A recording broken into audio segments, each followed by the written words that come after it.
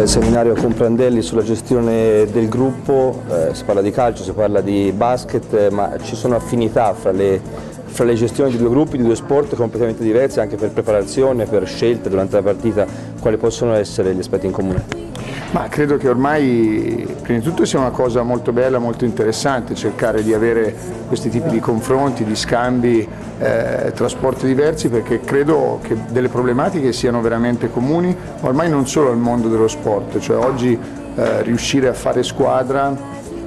è l'unica via possibile per avere eh, delle stagioni di successo o comunque un programma di successo perché in un mondo dove eh, ci sono cambiamenti frenetici di gruppi di lavoro, quindi di giocatori con mercato libero e di tutto quello che sappiamo che succede, dover essere eh, performanti in poco tempo, con una visione comune eh, per avere, per avere appunto un risultato positivo in campo credo che sia sicuramente una problematica comune a tanti, a mettere insieme giocatori a volte di razze diverse, di culture diverse, di formazioni diverse per quello che significa il club o generazioni molto differenti e, e con giocatori che giocano magari all'estero in altri campionati per quello che riguarda eh, la maglia azzurra. Sicuramente queste sono problematiche dove è bello confrontarsi e dove possono nascere spunti di crescita eh, sicuramente per tutti.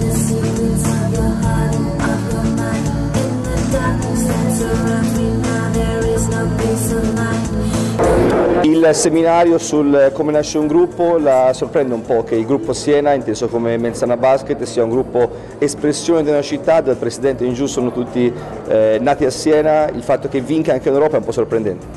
È sorprendente, è interessante da studiare e quindi complimenti veramente perché hanno non soltanto vinto ma dato una continuità a un progetto e a un progetto vincente. E può essere un esempio magari per chi pensa che le grandi squadre europee possono essere irraggiungibili?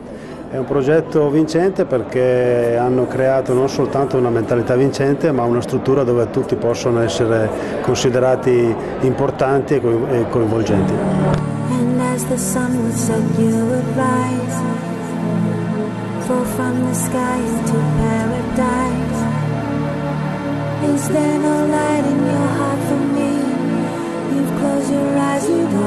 Is Beh, dicevamo prima sì, queste per quanto riguarda di gestione di, di, un gruppo, di fare squadra, è chiaro che oggi per tutti gli sport professionistici ci sono delle tematiche comuni, che sono quelle di eh,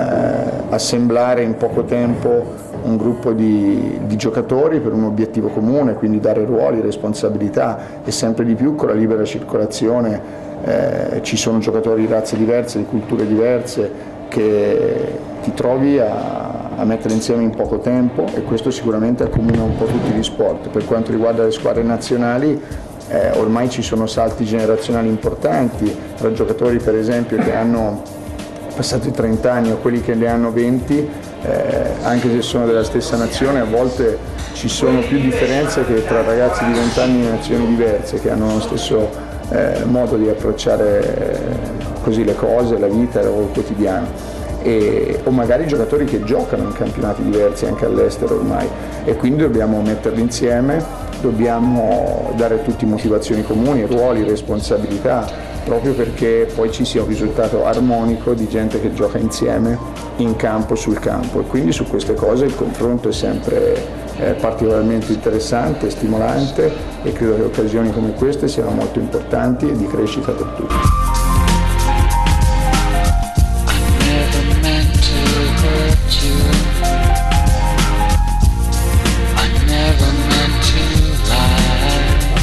Ascoltato con grande empatia quello che, che ha detto Simone, ha detto delle cose molto molto interessanti.